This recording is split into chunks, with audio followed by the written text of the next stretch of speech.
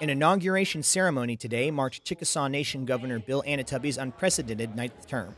The ceremony took place at East Central University in Ada, where Governor Anatubby said it has been an honor to serve the Chickasaw people. We will honor that trust and we will continue to improve. With each new endeavor, change, and challenge, we strive for excellence. Together, with your help, we can continue to build an even brighter future for generations to come. First elected as governor in 1987, Governor Anoatubby has helped lead the Chickasaw Nation to tremendous growth in diverse and prosperous business operations. In 1987, we set out to develop a sound economy for the Chickasaw Nation, to celebrate our rich heritage, and to safeguard our sovereignty.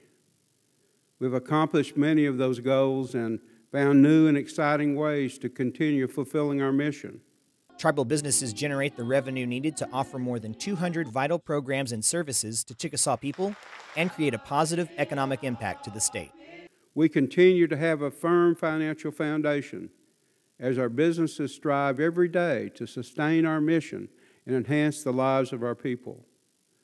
And they will continue to generate the revenue needed to grow the services and programs by reaching new markets, developing new business opportunities, and continuing to concentrate on good stewardship of our resources.